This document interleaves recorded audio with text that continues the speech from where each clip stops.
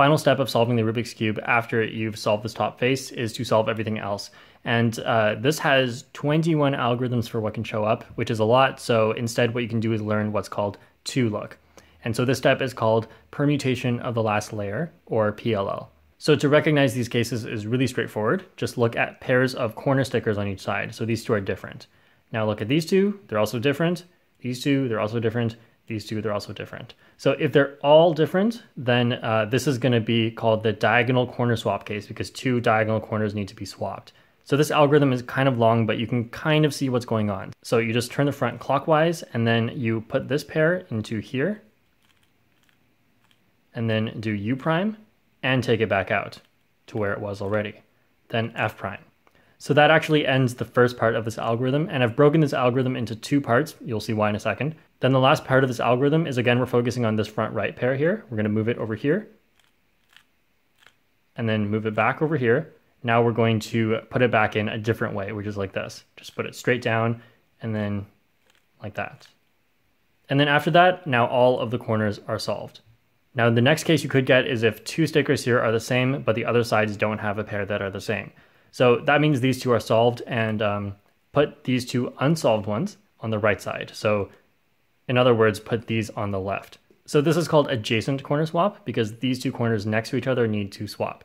So this algorithm is almost the same as the other one I taught, you just put it in a different order. So we start off by taking this pair out into here and then move it back and now reinsert it the other way. And instead of doing that last f prime, we're going to not do it because the next algorithm also begins with an f. So we would just be doing f prime f.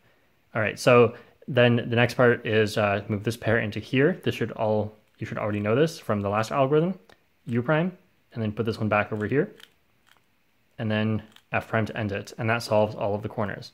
Once you've solved all the corners, it's just the edges left to go. So first I'll be talking about what to do if one of the edges is already solved. If that's the case, hold it in the back. Now there are two possible cases for what could happen here. Now how I quickly tell the difference between these is uh, which side of these two sides um, has the piece that needs to move to the opposite side. So this green one needs to move over to here. So that's how I recognize this case. So this algorithm starts with R U prime, and then the rest of it is a little bit better to memorize visually. So now what you do is these two stickers here that are the same, you're gonna move them up and out. So up and out.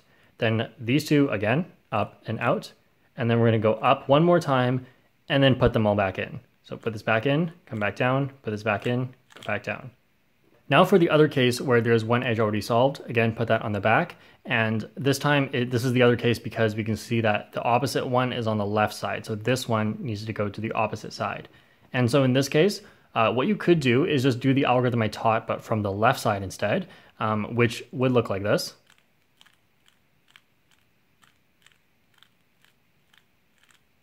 So if you're lazy and don't want to learn a new algorithm, you could just do that instead, but it's ultimately faster to do both of them with the same hand. So I'm going to show the right-handed version and that goes like this.